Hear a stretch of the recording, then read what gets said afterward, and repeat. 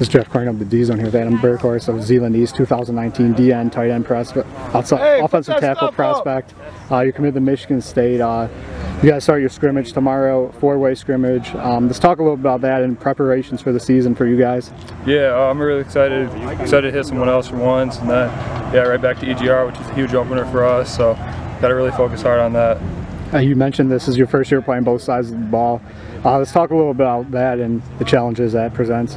Yeah, for sure, it's gonna be really tough. I've heard all about it, but our team needs it. and willing to do whatever it takes. So I'm excited to compete both ways. And now talk a little bit about some uh, keys for you as a posi- in those positions, uh, building off your junior season.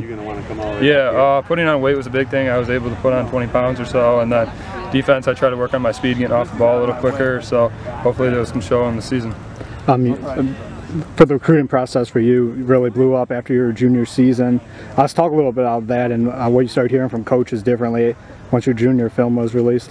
Yeah, uh, as soon as my season was done and the film was out there, like you said, it blew up. And then took a few visits and just found out Michigan State was the right one with all their coaches and just being close to home. And yeah, the chance to play baseball there as well is perfect fit. Uh, talk a little about that too, the challenges of playing two sports. Yeah, uh, it's gonna be extremely tough. I know that going in. There's a few other kids doing it, so hopefully that can help me out. But I'm excited to do both. And now uh, the Michigan State 2019 class is um, really strong in state. You being one of the focal points, Devontae Dobbs, Julian Barnett, um, Mike Fletcher going down the line. Um, let's talk about you guys' bond as the incoming recruiting class at Michigan State. Yeah, we're really tight. We got a group chat going. Uh, we took a visit there a couple weeks ago. All had lunch together, watched practice and stuff like that.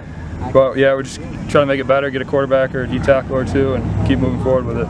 And how much uh, of a good experience is having your older brother John uh, play Division One football right now at Central and just learning from him? Yeah, that's huge. Uh, I talk to him all the time. Just he's helped me out with things all along the way in high school and stuff. Worked out with him multiple times, and it'll be nice going into college and kind of knowing what to expect and things like that.